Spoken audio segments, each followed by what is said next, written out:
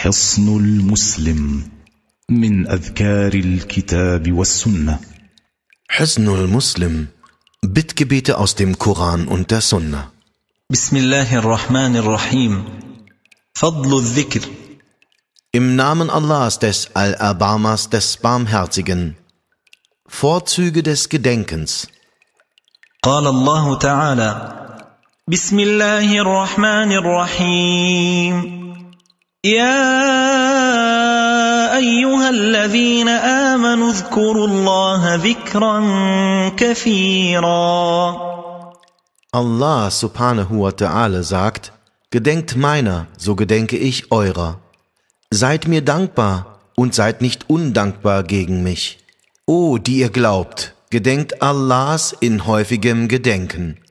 بسم الله الرحمن الرحيم والذاكرين الله كثيرا والذاكرات أعد الله لهم مغفرة وأجرا عظيما Im Namen Allahs des Al-Erbamas des Barmherzigen und Allahs vielgedenkende Männer und gedenkende Frauen.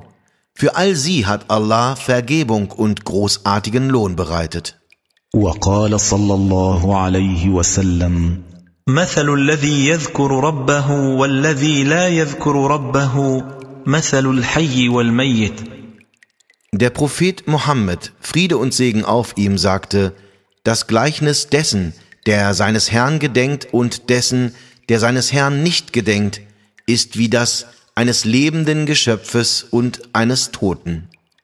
وقال صلى الله عليه وسلم يقول الله تعالى أنا عند ظن عبدي بي وأنا معه إذا ذكرني فإن ذكرني في نفسه ذكرته في نفسي وإن ذكرني في ملأ ذكرته في ملأ خير منهم وإن تقرب إلي شبرا تقربت إليه ذراعا وإن تقرب إلي ذراعا تقربت اليه باعا وان اتاني يمشي اتيته هروله Und er, Friede und Segen auf ihm, sagt, Allah, der Erhabene, sagt, ich bin mit dem Gedanken meines Dieners an mich und ich bin mit ihm, wenn er meiner gedenkt.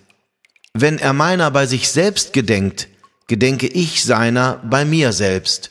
Und wenn er meiner in einer versammelten Schar gedenkt, gedenke ich seiner in einer versammelten Schar, die besser ist als sie. Und wenn er sich mir um eine Handspanne nähert, nähere ich mich ihm um eine Armlänge.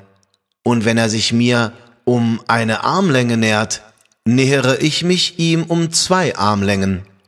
Und wenn er zu mir gegangen kommt, komme ich zu ihm gelaufen.